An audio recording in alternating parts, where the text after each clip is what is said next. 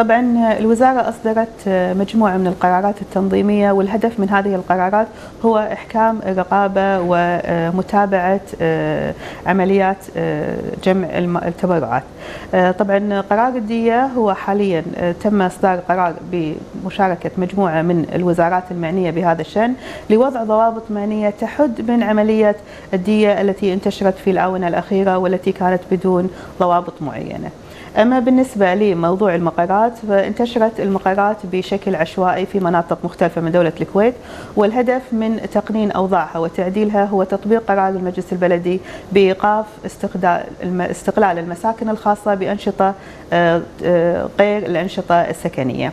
آه، فقامت الوزارة أيضا بإصدار قرار بتقنين أوضاع المقرات وجاري العمل على تقنين أوضاعها وإعطائها مهلة لتعديل هذه الأوضاع. كان هناك التزام كبير من الجمعيات الخيرية في مشروع رمضان السابق وكانت المخالفات تعتبر مخالفات طفيفة جدا.